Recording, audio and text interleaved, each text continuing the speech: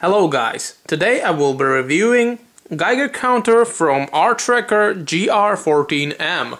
It comes in this nice package, there's a manual, hand strap, three AAA batteries and the main unit. The unit is made out of nice, thick, durable plastic.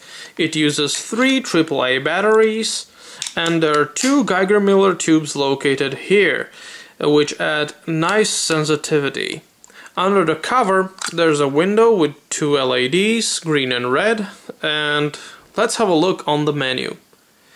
After you power on the unit, it will calibrate itself for the background radiation, and this is done in three steps. It takes about 45 seconds, and the steps are indicated with this first digit.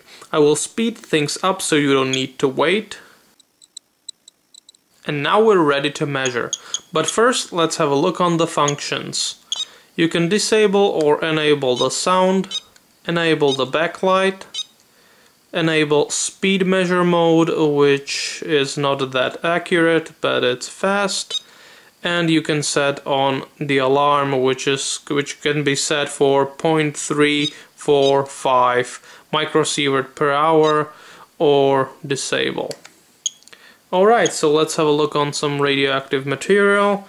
I have here a uranium glazed pottery, which is slightly radioactive. Let's have a look.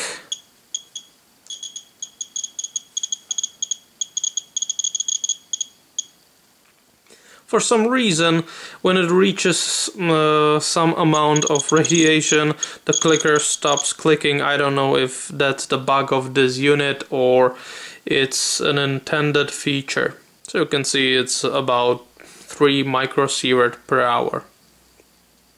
So that's about it. See you next time.